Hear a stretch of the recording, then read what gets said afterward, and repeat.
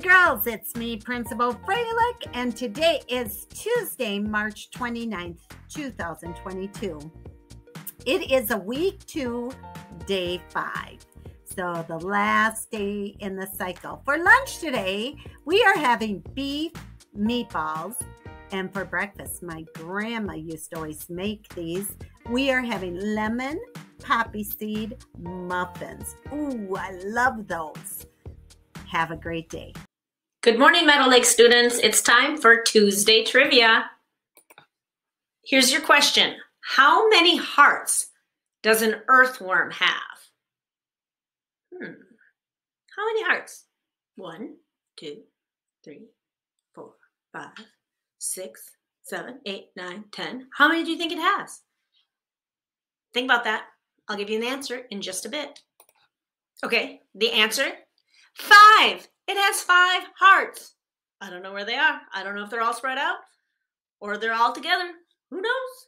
We'll have to dissect a worm to find out. Anyway, all the robins are out there at spring eating up those worms from all that rain we had last week. Have a great Tuesday. So much has changed since I was in school.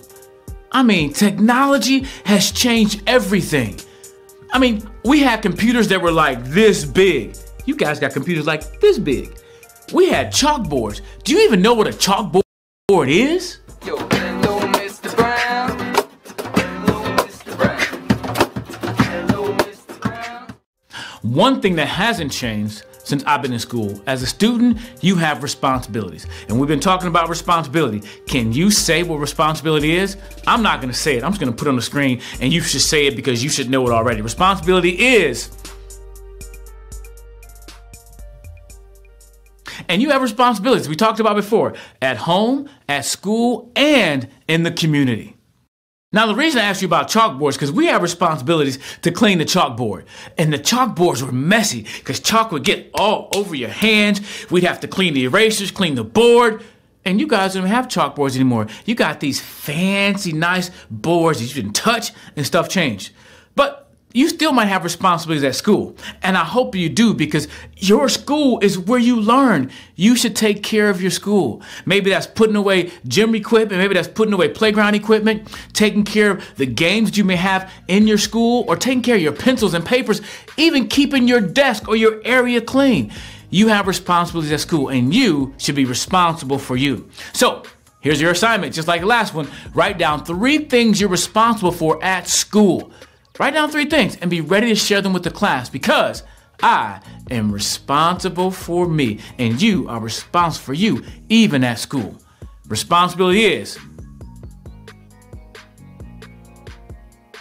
doing what you should do when you should do it. So go ahead and be responsible right now and write down three things that you're responsible for at school. Are you ready? Get set and choose well. Oh, yeah.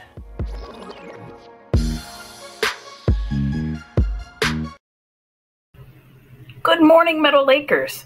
As you know, MCA testing is coming up, and there are 12 power words that will help us take our MCAs and do our best. We need to know what these 12 power words are and what they mean.